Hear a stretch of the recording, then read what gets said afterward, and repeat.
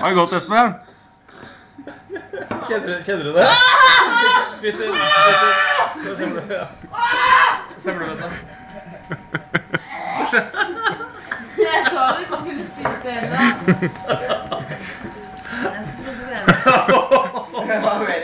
Ja, men se på Ta deg en god bit, Anders. så- Skal vi ha litt å drikke?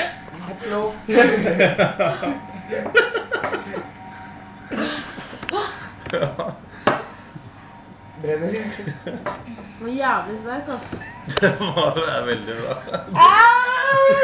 Jeg skylder den ti spenn. Ja, det gjør det faktisk.